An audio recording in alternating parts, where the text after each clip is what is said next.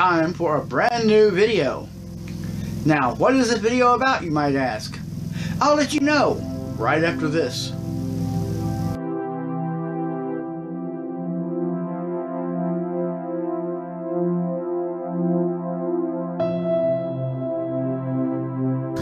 Hey people, how are we doing today? It's time for a brand new video. A brand new unboxing. Not just any unboxing, it's a Spider-Man unboxing. And what am I unboxing? I am unboxing two Marvel Spider-Man Finders Keepers.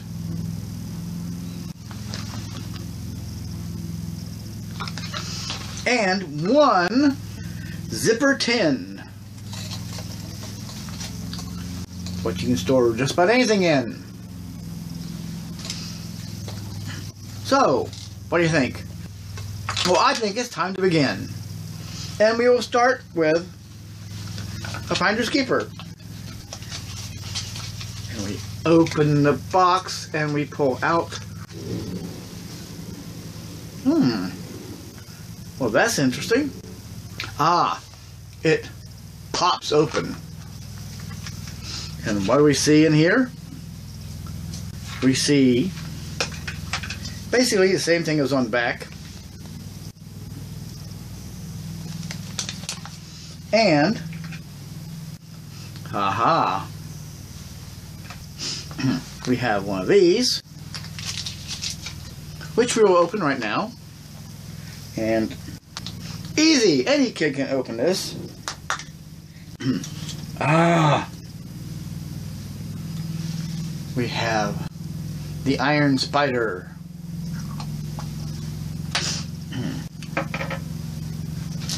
And we have what I assume is sweet tarts kind of things in Spider-Man's masks. and we have a way of putting it around. Ta-da! And you put your things in there and carry them around with a belt loop. Does anyone want to see me try one of these? I feel it's my obligation. So...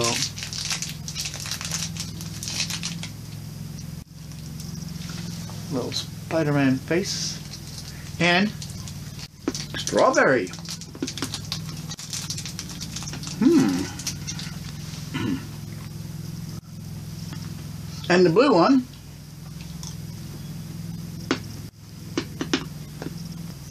It's like sweetheart.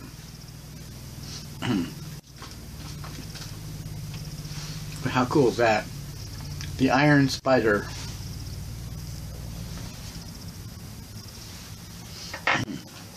and the next one, I can guarantee children are not going to just break into this. And we have Spider-Gwen. How cool is that? Spider-Gwen an iron spider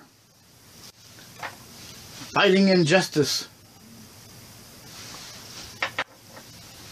And now, zipper tins. And we go, what's going to be on the inside? Something that rattles. And we open it and we find marble candies. I've had something like this before, and there are multiple flavors. As you can see, there are multiple colors. And these are like little tiny mm, sweet tarts. Of course, obviously that the flavors match the colors. And I will just try one. See little thing? Mm-hmm. Like little tiny sweet tarts. Hmm. Now these particular ones, they taste good. They're nice and crunchy. And, well, they're nice. I'd give them a 5.75 because they do take me back to a younger day. And of course, so do these. And I like these just a little bit better. So I'm going to give these a 6. And I'm going to put them right back in the tin.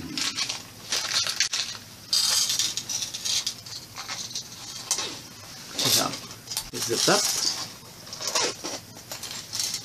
And you can take it anywhere you need to. Now, Spider-Man has informed me that since they are him, his mask, he thinks I should give him a higher score, but I don't think so. Well, overall, that was a little fun. And, well, if you liked this video, give me a thumbs up. Let me know you liked it. If you're new to this channel, then and you like what you see, then, give, then subscribe to my channel because there's more of this and that and the other. And you never know what's going to happen next. And, let me see, if you have any questions or comments for either me or Spider-Man, then put them in the comment section below. And I'll try to answer them for you. And he'll tell me what to say. Trust me, he'll tell me what to say. And remember to like, share, and subscribe. You can share this with your friends. You have my permission. And if you wish to, you may write me a letter. You can send it to Kenny Davenport at P.O. Box 198, Crossville, Tennessee 38557.